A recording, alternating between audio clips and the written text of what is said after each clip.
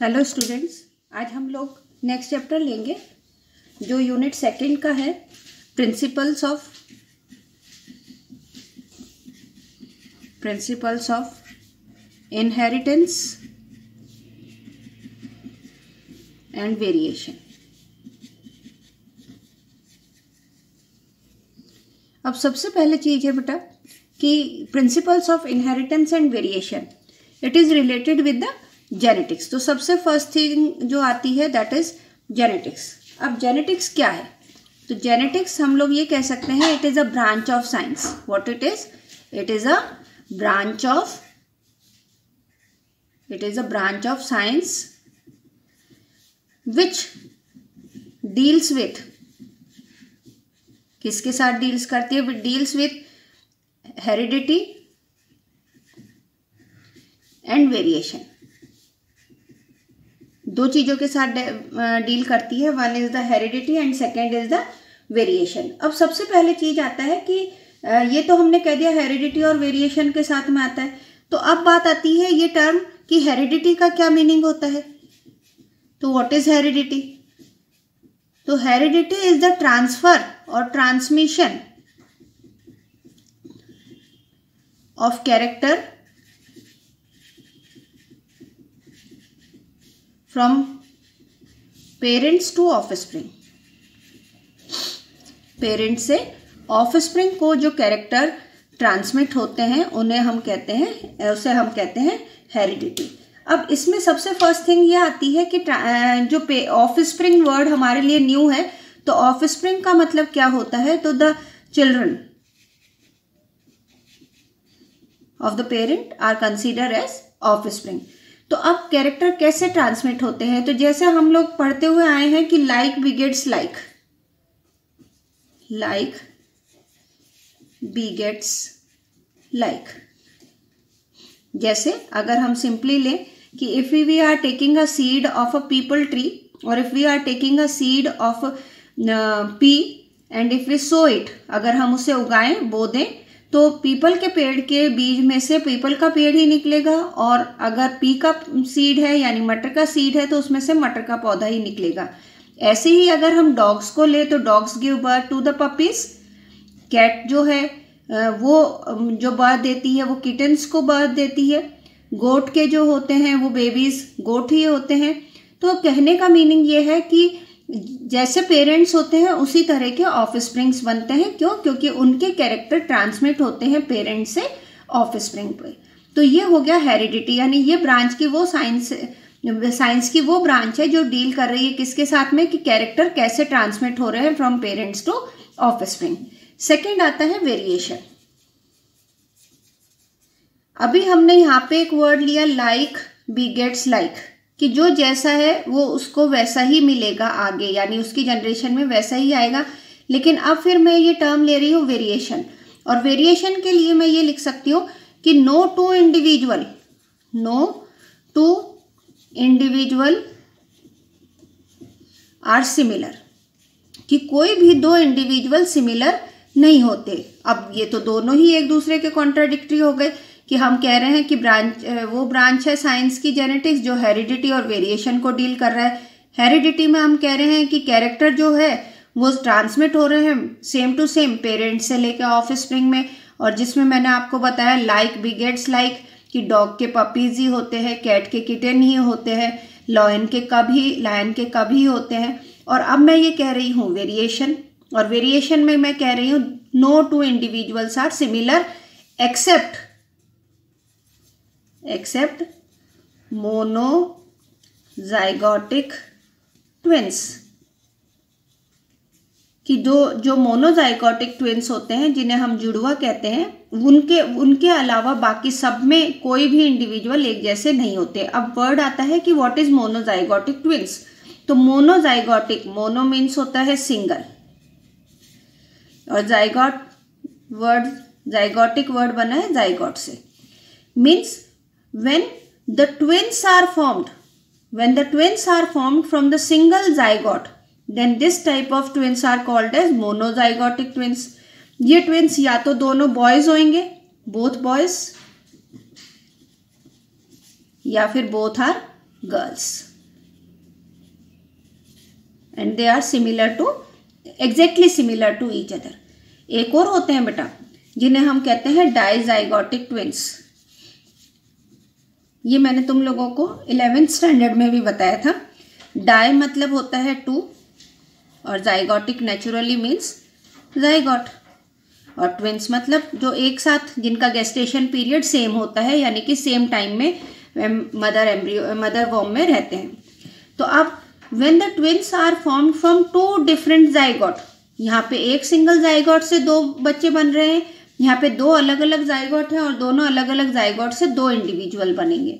तो ये दो इंडिविजुअल भी either both of them can be boys both can be boys और बोथ कैन बी गर्ल्स और one girl and one boy but zygotic twins are uh, dissimilar or you can say they are different from each other just like you brother and sisters are जैसे आप अपने भाई से या आप अपनी बहन से डिफरेंट है उसी तरह से डाइजाइगोटिक ट्विंस जो होते हैं वो भी आपस में ट्विंस होते हुए भी आपस में एक दूसरे से डिफरेंट होते हैं। जबकि मोनोजाइगोटिक ट्विंस जो होते हैं वो सिमिलर होते हैं एक, बिल्कुल एकदम से यू कैन से कि दे आर एग्जैक्टली सिमिलर तो हमको ये पढ़ना है कि जेनेटिक्स क्या पढ़ जेनेटिक्स क्या है बेटा? It is a branch of science that deals with the heredity and variation और हेरिडिटी क्या है? Heredity is the transmission of character from parents to offspring means like begets like and variation is that no two individual are similar except monozygotic twins means all are having different from each other सब एक दूसरे से क्या होते हैं बेटा? Different होते हैं। और वो डिफरेंस किसकी वजह से अराइज होते हैं? वो जेनेटिक भी डिफरेंसेस होते हैं। वो डिफरेंसेस जेनेटिक भी होते हैं, या फिर एनवायरमेंटल भी होते हैं। एक्वायर्ड भी होते हैं। तो ये डिफरेंसेस तो ये डिफरेंसेस आ जाते हैं। जैसे genetic difference as you are different from your brother और sister because both are having दो genes are coming from the same parent but the genes में जो क्रॉसिंग ओवर हुआ है उसमें डिफरेंसेस आ जाता है। एनवायरमेंटल डिफरेंसेस uh, कैसे अराइज होता है? अगर कोई इंडिविजुअल जैसे अगर हम प्लांट का केस ले तो प्लांट्स को अगर हम अच्छी सॉइल न्यूट्रिशन यानी उसको मिनरल्स प्रोवाइड कर रहे हैं फर्टिलाइज़र वाटर प्रोवाइड कर रहे हैं तो उसकी ग्रोथ हेल्दी होएगी। इसी तरह से अगर कोई ह्यूमन बींग है तो उसको भी अगर अच्छा इन्वायरमेंट मिल रहा है मीन्स फ़ूड सफिशिएंट मिल रहा है न्यूट्रिएंट अच्छे मिल रहे हैं, अच्छी एजुकेशन मिल रही है तो नेचुरली उसका जो कैरेक्टर्स है या जो उसकी बॉडी स्ट्रक्चर है वो डिफरेंट होगी। अगर वो मेल नरिज्ड है तो वो वीक रहेगा। एक्वायर्ड डिफरेंसेस क्या होते हैं? These are the character which we acquired in our life time जो हम अपने जीवन में एक्वायर करते हैं। अब ये हम अपने जीवन में कैसे एक्वायर करते हैं? जैसे सपोज़ कोई अपना हेयर कट ले ले जैसे हर्ष ने अपने हेयर कट ले लिए तो वो उसका एक्वायर्ड कैरेक्टर है। पियर्सिंग ऑफ़ पिन्ना हम कान छिदवाते हैं अपना, वो भी क्या है एक्वायर्ड कैरेक्टर है। कई नोज़ पियर्स करवाते हैं, वो एक्वायर्ड कैरेक्टर है। तो अलग अलग तरह की हम लोग चोटी बनाते हैं, वो सब एक्वायर्ड कैरेक्टर्स में आते हैं। तो ये एक्वायर्ड कैरेक्टर्स हम लोगों को इस चैप्टर में नहीं पढ़ना, इस चैप्टर में हमको केवल कौन से कैरेक्टर पढ़ने हैं, जो जेनेटिकल कैरेक्टर्स होते हैं। अब सबसे पहले चीज़ आता है कि जेनेटिक्स नाम किसने दिया who coined the term genetics तो first is who coined the term genetics. So the answer will be William Batson. William Batson. इन्होंने ये टर्म दी थी जेनेटिक्स और ये टर्म दी थी 1905 में। यानी much later after the discovery of the Mendel's law actually अब ये तो हो गया जेनेटिक्स अब सेकंड आता है कि who is known as father of genetics who is the father of genetics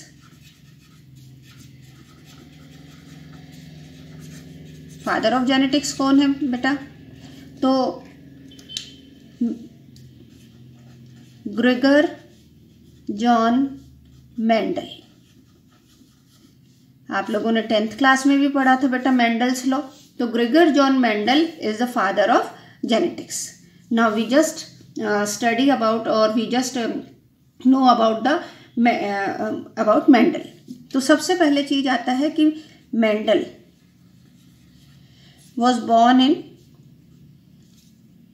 1822 in a very small village uh, and he was uh, belong to a very poor family यानी वो peasant family में born हुए थे। Peasant family